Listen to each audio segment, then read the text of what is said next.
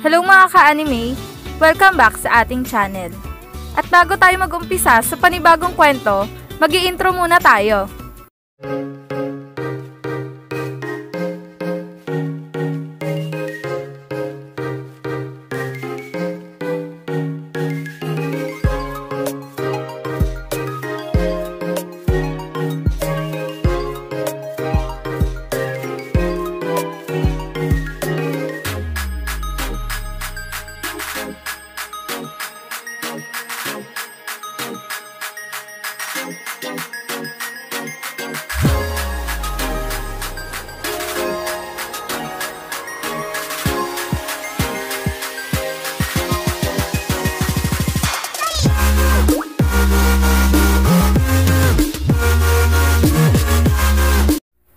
Ang nakaraan sa Islam Dunk Winter High. Ang kupunan ng Shohoku ay nagawa ng lumamang sa Aiwa na naging dahilan para humingi ng isang timeout si Moroboshi at nakaisip ito ng panibagong plano kung paano nga ba nila malalamangan ulit ang kupunan ng Shohoku at nagtagumpay naman ito sa kanyang plano. Kaya naman, lumamang na naman ang kupunan ng Aiwa sa Shohoku ng isang puntos. At dito na nagtatapos ang chapter 102 at isang paalala muna ang aking bibitawang salita para sa inyo na ang kwentong ito ay hindi pa napapatunayan kung isa nga ba itong fanmade o di naman kaya kasama talaga ito sa kwento ng Interhigh. Sa kadahilanan, na nabasa ko lamang ito sa isang site at walang anumang larawan na nakalagay sa mga ito. Ngayon, ipagpapatuloy na natin ang chapter 103 ng Slam Dunk Interhigh. Hawak na ng kupunan ng Shouko ang bola at dinadala na ito ni Ryota papunta sa kanilang basket. Mga kasama, bawiin natin ang kalamangan sa Aiwa. Kaya naman, humanda kayo. Dahil hindi na natin nahayaan pang lumamang ulit sila ng malaki sa atin. Yan ang sabi ni Ryota. Bigla itong umatake sa depensa ng Aiwa. Subalit, agad din naman itong huminto at sabay ipinasa ang bola papunta kay Akagi. At nang hawak na ni Akagi ang bola, agad naman itong binantayan ng sentro ng Aiwa. Akagi, daanin mo sa katawan ang kanilang sentro. Dahil alam kong mas malakas ka kaysa kanya. Kaya naman, siguradong makakapuntos ka laban sa kanya. Yan ang sigaw ni Ayako. Habang si Akagi naman ay agad na dinaan sa katawan ang sentro ng Aiwa. Nang biglang binantayan na din ng power forward ng Aiwa si Akagi na naging dahilan para maging dalawa na ang kalaban ni Akagi sa ilalim ng basket. Patay! Dinoble ako ng Aiwa! Pero okay na din ito dahil ngayon, libre na ang isa sa amin. Yan ang sabi ni Akagi sa kanyang sarili. At nang nakita nito na walang nagbabantay kay Mitsui, agad niya namang ipinasa ang bola dito. Mitsui! Libre ka! Kaya naman, itira mo na ang bola! Yan ang sigaw ni Akagi. At nang hawak na ni Mitsui ang bola, agad naman itong pumukol ng isang tres. Subalit, laking gulat nito dahil bigla namang lumabas si Moroboshi sa kanyang harapan. Ha? Andito na agad siya? Napakabilis talagang kumilos nitong si Moroboshi. Sigurado sa palpal niya ako. Yan ang sabi ni Mitsui sa kanyang sarili. Nang biglang lumabas si Rukawa sa gilid ni Mitsui. Mitsui, ipasa mo ang bola dali! Yan ang sigaw ni Rukawa. Habang si Mitsui naman ay agad na ipinasa ang bola dito. Nako, isang drop pass. At mali ako dahil iniwan ko si Rukawa na walang bantay. Yan ang sabi ni Moroboshi sa kanyang sarili. At nang hawak na ni Rukawa ang bola, agad din naman itong tumalon at sabay gumawa ng isang jump shot. At sa pagkakataon na ito, pumasok na ang tira ni Rukawa sa kanilang basket na naging dahilan para lumamang na naman sila ng isang punto sa Aiwa. Ayun! Nice one, Rukawa! Binawi nyo agad ang kalamangan ng Aiwa sa inyo at ang ganda ng pasahan nyo. Ngayon, kayo na naman ang lamang sa laban na ito. Yan ang sigaw ng mga tropa ng Shoku. Sabi naman ni Sakuragi sa kanyang sarili, Ano? Anong sabi ng mga tukmol na to? Ang ganda ng pasahan nyo? Mga loko pala kayo eh. Sila lang naman nakahawak ng bola at hindi ako. At ikaw, Rukawa, nakakainis ka talaga. Kayong lahat, nakakainis. Hay, di bali na nga. Sa susunod, ako na lang mag-isa ang pupuntos. Yan ang sabi ni Sakuragi sa kanyang sarili. Sa kabilang banda naman, hawak na ng Aiwa ang bola at dinadala na ito ni Moroboshi papunta sa kanilang basket. Habang binabantayan naman ito ng mahigpit ni Sakuragi. Mga kasama, dating gawin at sundin lang natin ang plano. Yan ang sigaw ni Moroboshi. Nang biglang nagsalita si Sakuragi, Ang ingay mo talaga, Gunggong! Hindi ka naman makakalusot sa akin! Yan ang sabi ni Sakuragi na niyayabangan si Moroboshi.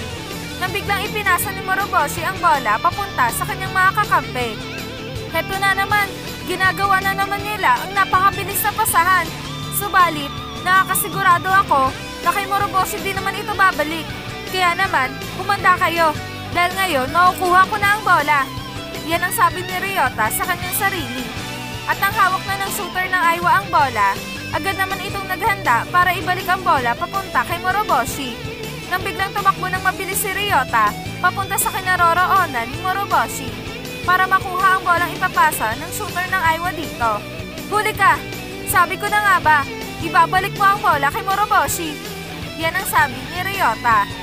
Nang bigla itong nagulat dahil na nga sa hindi itinuloy ng shooter ng Aiwa ang pagpasa kay Moroboshi. Ano? Isang fake? Naloko na! Siguradong libre na siya! Yan ang sabi ni Ryota sa kanyang sarili. Habang ang shooter ng Aiwa ay agad namang tumira ng isang tres. Subalit, sa pagkakataon na ito, sumablay ang tres nito. Ang rebound! Kunin niya dali! Yan ang sigaw ni Ayako. Habang si Rukawa at ang power forward ng Aiwa ay nagsabayan na sa itaas ng basket. Ito na, ito na ang pangit na resulta ng kanilang depensa. Dahil nasa labas si Sakuragi, hindi ito makakakuha ng rebound. Kaya naman, itong si Rukawa ay sapilitang nakikipagbakbakan para sa rebound. Yan ang sabi ni Coach Domoto sa kanyang sarili. Habang si Rukawa at ang power forward ng Aiwa ay nagsasabayan na sa itaas ng basket. Patay! Delikado ako! Mataas masyadong tumalon itong power forward ng Aiwa. Ano kaya ang gagawin ko para matalo ang ungas na ito? Yan ang sabi ni Rukawa sa kanyang sarili. Sabi naman ng power forward na Aiwa, Patay kayo ngayon sa akin dahil wala na ang may pula ang buhok para sabayan ako. Siguradong sa akin ang rebound. Yan ang sigaw ng power forward na Aiwa na naging dahilan para makuha nga nito ang rebound laban kay Rukawa. Nice rebound team! Ngayon, ipasa mo sa akin dali! Yan ang sigaw ni Moroboshi. Nang biglang kumaripas ang takbo si Ryota papunta sa power forward ng Aiwa. Habang ang power forward ng Aiwa ay nakababa na galing sa rebound. Nang bigla itong nagulat dahil bigla na lang natapik ni Ryota ang bola sa kanyang kamay na naging dahilan para tumilapon ang bolang hawak ng power forward na Aiwa papunta kay Sakuragi. Ano? Ang bansot na ito? Pero paano? Paano siya nakapunta agad dyan? Hindi ko man lang siya napansin. Yan ang sabi ng power forward ng Aiwa sa kanyang sarili.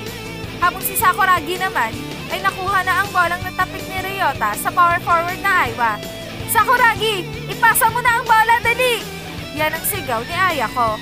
Hanamichi, ipasa mo sa akin ang bola! Yan naman ang sigaw ni Ryota. Sakuragi, ipasa mo dali! Yan naman ang sigaw ni Rukawa. Sabi naman ni Sakuragi sa kanyang sarili. Ano? Ipasa ang bola sa inyo? Mga ungas ba kayo? Kanina, hindi niyo ako pinasahan. Tapos ngayon, gusto niyo ipasa ko sa inyo ang bola? Mga gunggong pala kayo eh. Ngayon, ako naman ang hindi magpapasa ng bola sa inyo. At ipapakita ko sa inyo kung sino nga ba ang henyong si Sakuragi at kung ano ang kaya kong gawin. Yan ang sabi ni Sakuragi sa kanyang sarili. Nang bigla itong humakbang ng dalawang beses, sabay dribble sa bolang hawak nito. Ito na! Ang henyo si Sakuragi! Ang tatalo sa lahat ng kupunan dito sa Interhigh! Yan ang sigaw ni Sakuragi. Nang biglang pumito ang referee, Traveling violation! Sa Aiwa ang bola! Yan ang sigaw ng referee. Na ikinagulat talaga ni Sakuragi. Ano? Hoy ref! Paano naging traveling yun? E drenable ko naman ang bola! Nakakainis! Kampi ka yata sa kanila! Mga mandaraya! Yan ang sigaw ni Sakuragi na talaga namang naiinis. Gunggong ka talaga! Hindi ka na natuto! Yan ang sabi ni Rukawa sa kanyang sarili. Sabi naman ni Akagi na talaga namang nainis kay Sakuragi. Hoy Hanamichi! Ano bang ginagawa mo? At bakit hindi mo ipinasa ang bola? Nang biglang lumapit si Ryota kay Sakuragi. Sakuragi, bakit hindi mo ipinasa ang bola sa akin? Nasayang tuloy ang pagkakataon para maitaas pa ang kalamangan natin sa Aiwa. Yan ang sabi ni Ryota. Sagot naman ni Sakuragi. Kulot, pasensya. Pero kayo naman ang nauna eh. Kasi hindi niyo ako pinasahan ng bola kanina. Halos kayong apat lang ang nagpasahan. Parang hindi niyo ako kasama. Sagot naman ni Ryota, Ayun ba? Teamwork ang tawag doon. Nagpapasahan tayo para malito ang kalaban. Katulad ng ginagawa ng Aiwa sa atin. Kaya naman, maghintay ka lang ng pagkakataon dahil may ipapasa din sa iyo ang bola. Kapag nalito na ang Aiwa sa pasahan natin.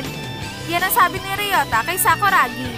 Sa kabilang banda naman, hawak na ng Aiwa ang bola at dinadala na ito ni Moroboshi papunta sa kanilang basket. Habang binabantayan ng mahigpit ni Sakuragi. Ngayon, magwa one on one tayo Sakuragi at tignan natin kung hanggang saan nga ba talaga ang galing mo. Yan ang sabi ni Moroboshi sa kanyang sarili. Nang bigla itong umatake sa depensa ni Sakuragi. Subalit, agad din naman itong huminto at sabay tumalon para gumawa ng isang tres. Nang biglang tumalon din si Sakuragi para pigilan ang tira ni Moroboshi. Ngunit huli na si Sakuragi dahil hindi na nito naabutan pa ang tira ni Moroboshi. Subalit, sa pagkakataon na ito, hindi pumasok ang tres ni Moroboshi dahil napaaga ang bitaw nito sa bola. Ang rebound, kunin nyo! At kailangan makuha nyo ang rebound para madagdagan pa ang kalamangan natin sa Aiwa. Yan ang sigaw ng mga tropa ng Shogu. Nang biglang tumalo ng mataas ang power forward na Aiwa para kunin ang rebound. At nagdagumpay nga ito sa pagkuha ng rebound. Subalit, sa pagkakataon na ito, hindi niya na ibinaba pa ang bola at gumawa na ito ng isang napakagandang follow-up dunk na ikinatuwa talaga ng buong manonood. Ang galing! Ang galing ng follow-up na yon! Ngayon, kayo na ulit ang lamang. At sana, huwag nyo nang pabawiin pa ang kupunan ng show ko para hindi na sila makahabol pa sa inyo. Yan ang sigaw ng mga manonood. Sabi naman ng coach ng kainan, Nako po, hindi pwedeng palaging ganito ang depensa ng show ko dahil hindi sila makakasabay sa power forward ng Aiwa pagdating sa rebound. Lalo na ngayong pagod na si Rukawa. Pero kung hindi lang sana ito pagod, siguradong pinapahirapan niya ngayon ang power forward ng Aiwa. Sabi naman ni Maki, Tama ka nga coach, at dapat na silang bumalik sa dating depensa nila para nakokontrol na ulit nila ang rebound. Dahil sa ganyan depensa, siguradong tagilid sila dahil hindi pwedeng makarebound si Sakuragi sapagkat ang trabaho nito ngayon ay ang bantayan si Moroboshi sa labas. Yan ang sabi ni Maki. Sa kabilang banda naman, hawak na ng Shouko ang bola at dinadala na ito ni Ryota papunta sa kanilang basket. Mga kasama, ngayon, bawiin na natin ang kalamangan at huwag nating hayaan na lumaki pa ito ng gusto. Yan ang sigaw ni Ryota nang bigla nitong ipinasa ang bola kay Rukawa at nang hawak na ni Rukawa ang bola, agad niya naman itong ipinasa kay Mitsui. Mitsui, itira mo na dali! Yan ang sigaw ni Ayako. Nang biglang tumakbo si Sakuragi papunta sa kabilang linya ng basket. Habang si Mitsui naman ay agad na ipinasa ang bola kay Sakuragi. Sakuragi, ngayon, pagkakataon mo na! Kaya naman, itira mo na ang bola! Yan ang sigaw ni Ryota. Habang si Sakuragi naman ay biglang tumalon at tumira ng isang jump shot. At ang bolang itinira nito ay pumasok sa kanilang basket na ikinatuwa talaga ng mga tropa ng Shouku. Ang galing mo talaga, Hanamichi! Ngayon, kayo na naman ang lamang sa laban na ito! Yan ang sigaw ng mga tropa ng Shouku. At dito na nagtatapos ang Chapter 103 ng Slam Dunk Inter High. Isang nakakabiting katapusan na naman ang ating nasubaybayan mga ka-anime. Kaya naman, patuloy pa natin subaybayan ang mga susunod na chapter. At kung nagustuhan niyo ang ating kwento, share niyo na ito at mag-iwan na din kayo ng isang like para mas ganaan akong gumawa pa ng mas maraming video. At shoutout muna tayo para sa mga loyal sa channel natin. Shoutout sa'yo,